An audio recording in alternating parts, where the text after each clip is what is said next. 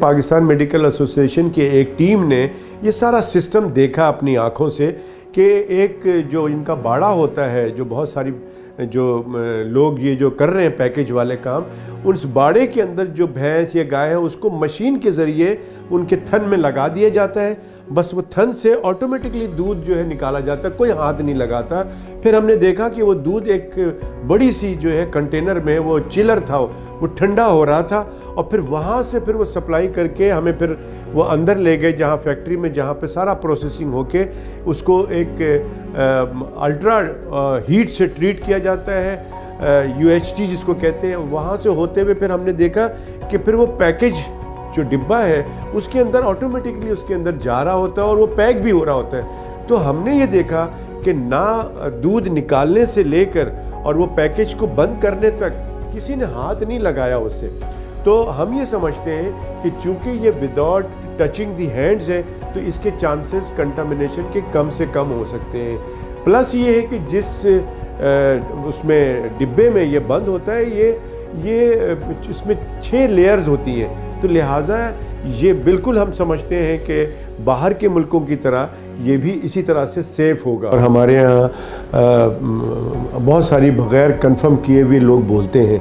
लेकिन चूँकि हमने देखा है तो हम इसको कह सकते हैं कि ये जो पैकेज दूध के अंदर कोई प्रिजर्वेटिव नहीं डाला जाता है, इस पैकेज के अंदर जो छः लेयर्स बनाए जाते हैं, यही इसको प्रिजर्व करते हैं, यही इसको बैक्टीरिया और जरासीम से दूसरे जरासीम से प्रोटेक्ट भी करते हैं। अब जो आपने कहा कि इसकी जो लाइफ इतनी है तो उसके अंदर तो एक्सपायरी डेट दी जाती है।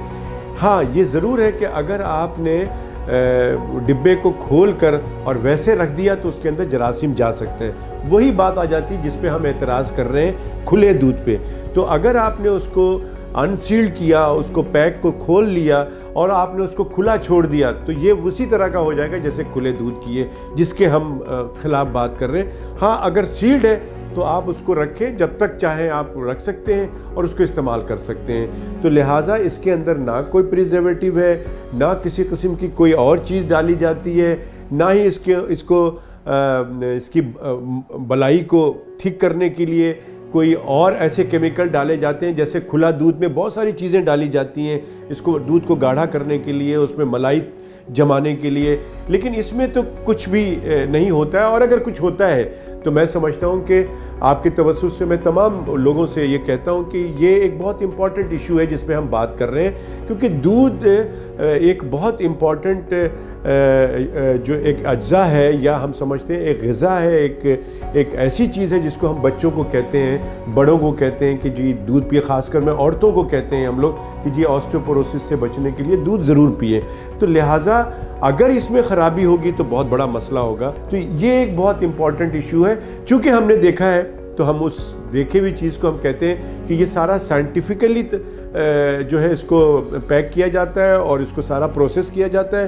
तो जो चीज़ साइंटिफिकली प्रूवन है, हम उसके साथ खड़े हैं। पैकेज दूध सेहत महफूज।